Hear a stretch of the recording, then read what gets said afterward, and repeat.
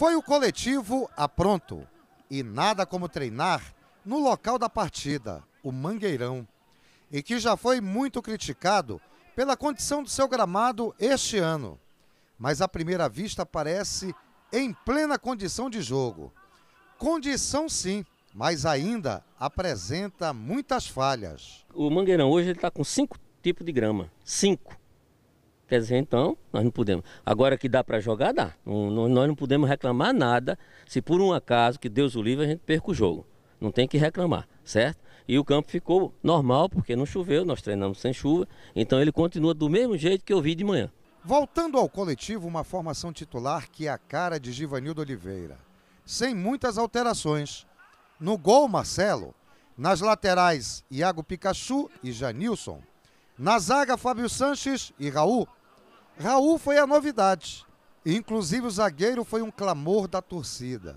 Resta agora corresponder. Se a pessoa optar por mim aí, tem que, tem que dar o máximo para fazer juízo que a torcida é, pediu na, naquele jogo. Então é, é, com a ajuda de todo mundo, do, de todos os companheiros, de todo mundo, para a gente sair com um bom resultado agora nesse jogo. No meio-campo, Eduardo Ramos, que cumpriu o terceiro amarelo no Campeonato Brasileiro, retorna à equipe para jogar a Copa do Brasil.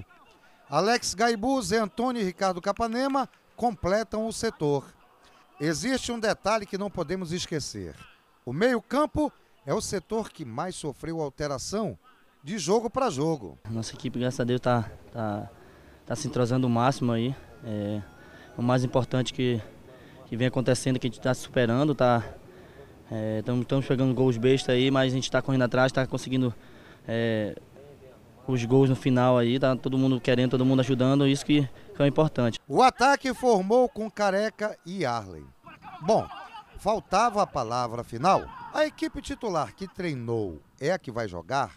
Se Givanildo Oliveira não fugir à sua característica, a formação do coletivo é a titular.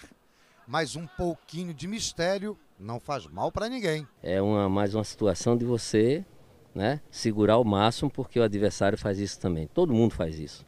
Então nós temos que ter, procurar saber do adversário, tudo que nós pudermos saber, né, os detalhes, o jogador, característica de cada um individualmente, como eles também é, têm da gente.